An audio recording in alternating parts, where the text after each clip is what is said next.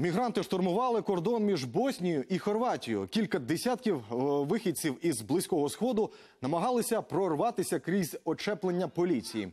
Люди вимагали пустити їх до Євросоюзу. Казали, що бояться замерзнути у своїх наметових таборах, чекаючи дозволу на в'їзд.